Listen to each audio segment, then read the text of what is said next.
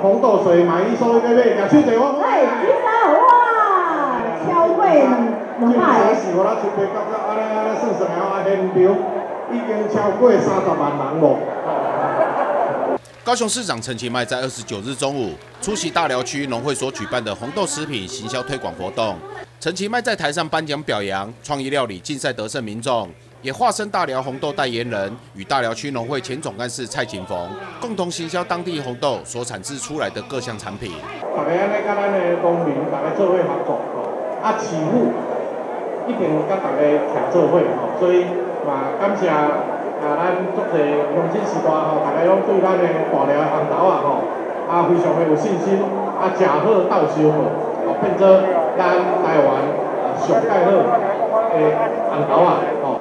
即个红豆啊，会当讲吼，是咱市政府啊，甲咱各位兄弟农会啊，甲所有中央贵宾，咱大寮地区所有的好朋友吼，咱创造一个神奇啊吼。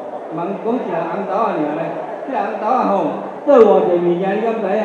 啊内底创意料理吼，几啊十种的创诶诶种料理，我等下大家咱看卖啊。陈其迈表示，大寮红豆远近驰名，甚至是总统蔡英文都非常喜爱品尝，因为大寮当地的水质加上农民的用心，才能栽种出皮薄又香气十足的红豆，让大寮红豆特别受到欢迎。总统咧食红豆啊吼，就是咱大寮的红豆啊吼。啊，因为啊，我拢吼啊，自花妈市长开始了吼，我拢固定咧送总统食这个大粒红豆啊吼。啊，因为食大粒红豆食甲习惯了，无食条的啦，吼。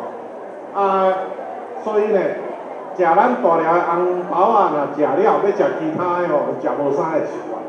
啊，为虾米呢？因为咱大粒红豆好食啦，吼。啊，所以包括讲。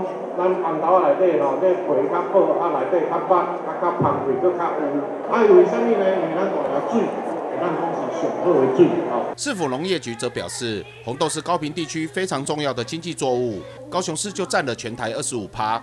大寮区也是高雄红豆的第二大产区，十分适合烹煮及加工制线。欢迎大家来购买推广，香挺高雄在地农特产品。